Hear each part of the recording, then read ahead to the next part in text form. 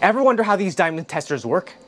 Diamond Tester's working principle is based on the fact that different gemstones conduct heat differently. Diamond is an extremely good conductor of heat. Heat will pass through a diamond in a different way than it would through a cubic zirconia or a glass. The Diamond Tester will detect the rate at which the heat moves through the stone and tell whether it is real or fake. But look at this.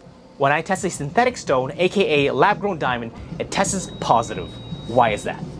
That is because a lab-grown diamond has the exact same physical properties as a natural diamond since it is composed of the exact same material, carbon.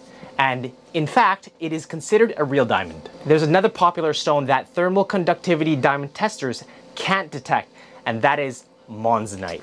It is due to the fact that moissanites can also conduct heat extremely well like diamonds.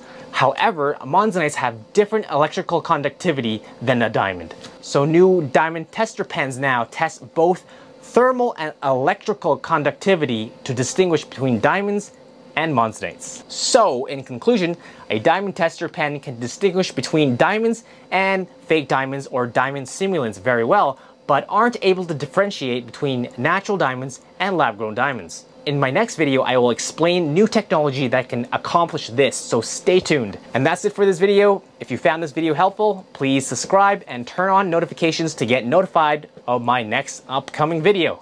Thanks for watching.